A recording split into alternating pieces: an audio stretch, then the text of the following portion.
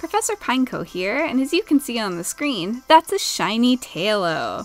So I decided to go back and do my Route 104 encounter for my Pokemon uh, Ruby run through for shinies, and I'm very happy to say that Dexnaving is treating me good. Uh, it probably took about three or four hundred, uh, and I kept having to.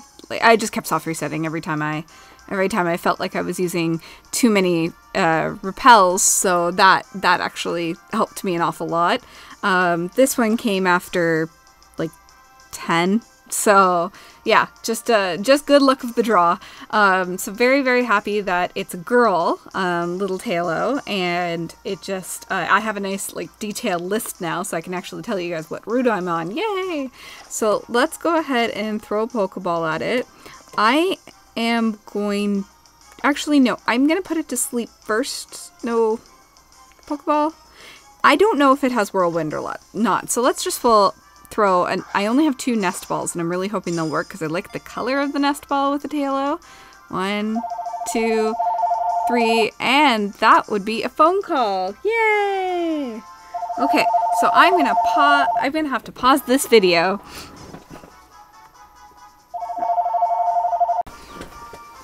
Okay, I'm back. Caught it in a nest ball, as you saw, and uh, telemarketers are annoying.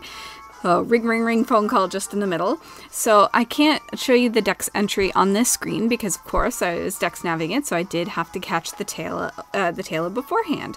So I haven't come up with a name for this one, so I'm going to say no, but I will come up with a name.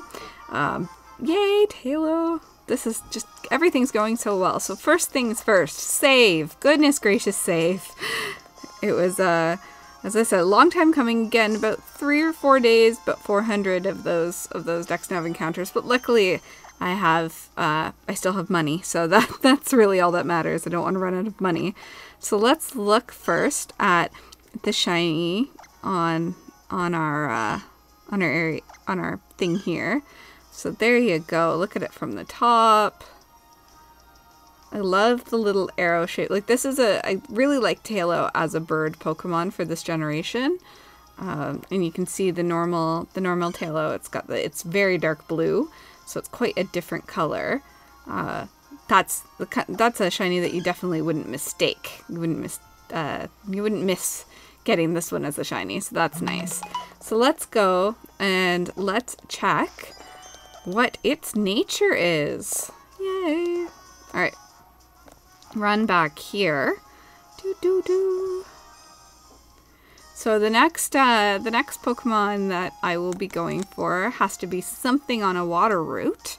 So I need to get um, uh, yeah, I need to get something on a water route. I think it might be Solrock, but you never know.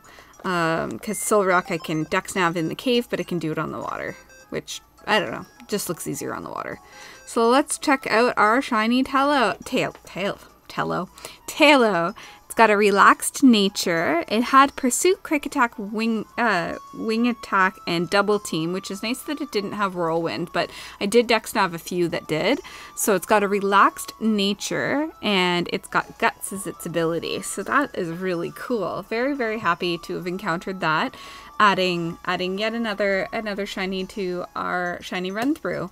So I thank you for watching, and I hope to be coming coming with so many more shiny Pokemon in this game. I'm just going to keep working on it every every time I can, and I hope all of your Pokemon shine.